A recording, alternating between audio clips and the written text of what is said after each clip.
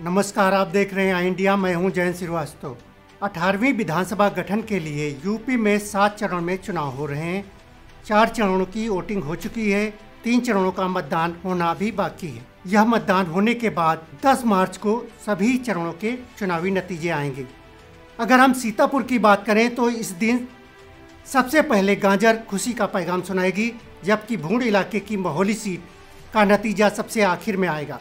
वजह यह है कि बीसवा सीट पर सबसे कम तथा मोहाली में सबसे ज़्यादा बूथ हैं। ऐसे में बीसवा अठारहवें तथा मोहाली सीतापुर लहरपुर तेईसवें राउंड में अपना फैसला देगी। शेष सीटों के नतीजे भी 20 राउंड में आएँगे। सीतापुर जनपद में नौ विधानसभाएँ हैं। इनमें मोहाली, सीतापुर, हरगांव, लहरपुर, बिस्वा, सेवता, महमूदाबाद, सिधौली और मिश्रिक हैं। तेईस फरवरी को हुए मतदान में छाछठ पॉइंट बत्तीस फ़ीसदी मतदाताओं ने वोट डाले थे। ईवीएम में बंद वोटों की गणना 10 मार्च को होगी।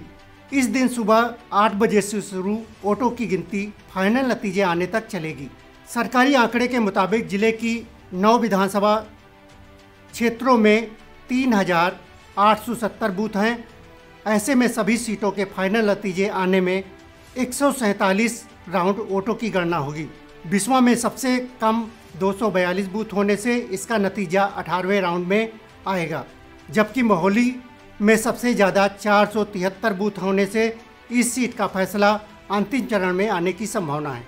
मोहली के साथ ही सीतापुर, लहरपुर का तेईसवें राउंड में नतीजा आएगा, जबकि सिधौली और मिश्रिक 21-21 राउंड में फाइनल नतीजा देगी।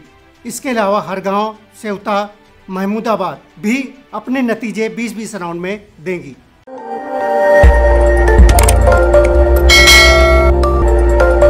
खबर आपकी, नज़र हमारी। देखते रहिए आई इंडिया।